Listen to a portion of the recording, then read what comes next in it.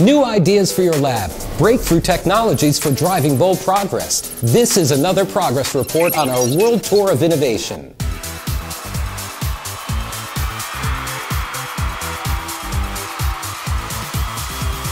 Thermo Scientific Technology and Innovation is all about making your life easier in the lab. And we're here in Santa Clara, California to focus on centrifugation innovations, specifically the world famous Fiberlite rotor technology.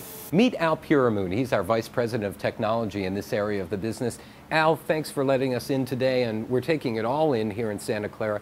Tell us about where we've been, where we are today, and where we're going with this fantastic technology. For many years and for many decades, we have been dealing with the traditional aluminum and titanium metallic uh, in our industries. We are changing that. We are going for future to a non-waste way of making these products. The product has been, you get a forging material, either titanium or aluminum, and then the machine, about 80% of it, throw that away and use the 20% of it. And uh, also dealing with all kind of uh, safety issues. In the carbon fiber technology, we are changing that. Besides changing the material, what we are doing, we are on a green technology, we are on zero waste. We get the material and we mold it rather than machining. We make a net shaped part and we use every ounce of it in our product line. We are following and parallel with what the aerospace is doing. We are the same technology, a little bit more complicated in some area than aerospace technology. We go through many gravity higher than uh, aerospace uh, component, and this is our direction. Uh, basically, our mission is to make the laboratories all over the world safer and a better with much, much more throughput.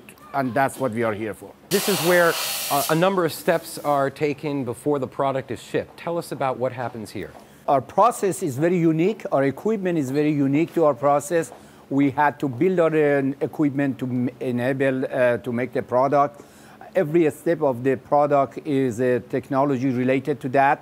Basically, uh, we start from raw material uh, in a sheet form, and we go ahead in a very extensive cutting and molding, and then later on winding uh, and balancing, and then uh, to the final testing process.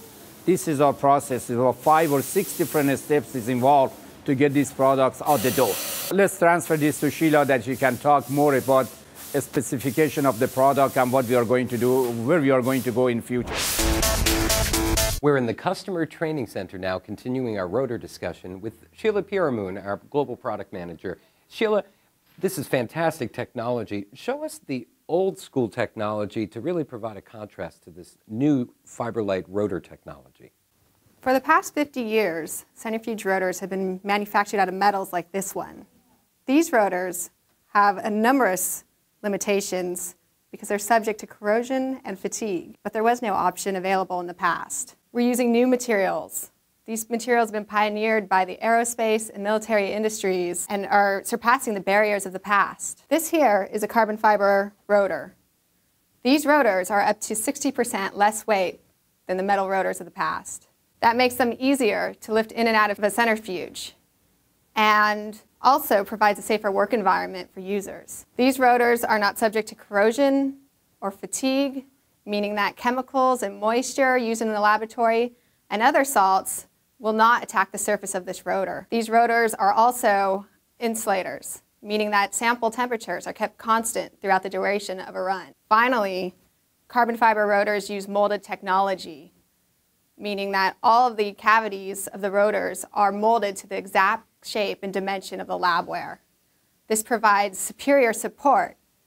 So for example, when running a conical tube like this, we're now able to take this tube beyond what it's rated up to 30,000 g-force. This is an example of how the cavity is molded to the exact shape of the tube, allowing the additional support needed to obtain those g-forces.